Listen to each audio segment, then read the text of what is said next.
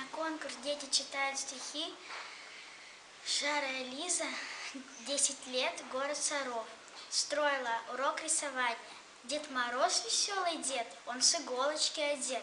Он художник, очень смелый, он рисует краской белой. Белый-белый, белый свет, голубеет лыжный след. На реке чернеет лед, синий вечер настает. В наших окнах желтый свет, хвойный лес нам шлет привет. Ель зеленая стройна, в школьный зал пришла она. А с ней такое длинное, конфетно-мандаринное, такое необычное, пломбирно-земляничное, печенно-пирожковое, коньковое, снежковое, отличнейшее слово каникулы.